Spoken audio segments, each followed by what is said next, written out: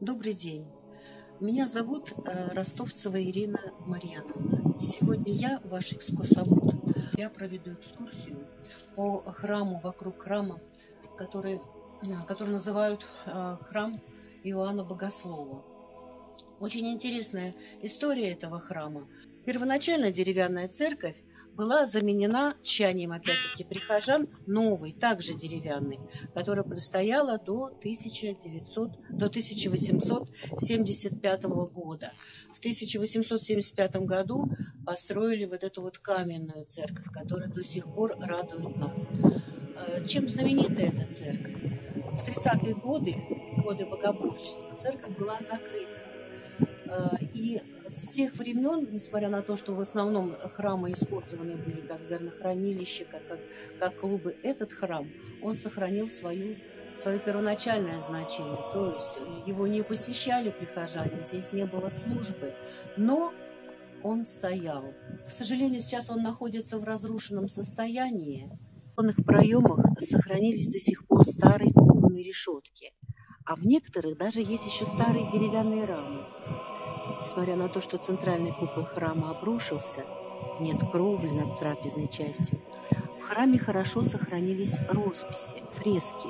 Их довольно много, и они хорошо различимы. Там есть фрески святой великомученицы Веры, Надежды, Любови и матери их Софии. Также хорошо сохранились в храме изображения святых евангелистов на сводах центрального купола. Фрески даже не потеряли свой цвет. Уже в 1869 году приход состоял из 265 э, душ мужского пола и 272 женского пола. То есть здесь э, жило достаточно большое количество народу. Э, помимо этого, при церкви была церковно-приходская школа. И что самое удивительное, что здесь даже было общество, в котором состояли 24 человека, и общество называлось «Общество трезвости». Есть еще одна интересная информация, э, что в 1911 году вот здесь, в селе Кручико Усманского уезда, находилась лесная монастырская дача Усманского Софийского женского монастыря.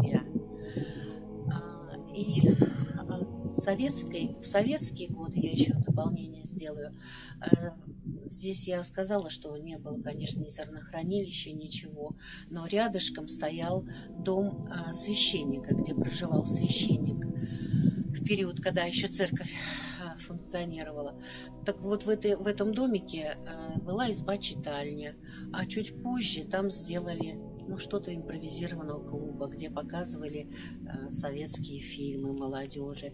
Но все это было в прошлом, э, буквально до 90-х годов, и все это пришло, к сожалению, в упадок. В настоящее время благочинным Олегом Парахиным и э, главой администрации Подубрского сельсовета Кондрашкиным Алексеем Юрьевичем и с помощью прихожан началось восстановление храма. Смотрите, сколько Э, какие большие уже работы проведены. Здесь планируется восстановить полностью храм снаружи, снутри. Уже, уже леса поставлены, уже купол скоро начнут восстанавливать. Э, рядышком э, с храмом здание полуразрушенное. Планируется там делать купели. И мы надеемся, что скоро к нам приедут люди, и их будет радовать вид нашего храма, службы. И ждем вас всех э, к нам в гости. Всего вам хорошего, мира и благоденствия.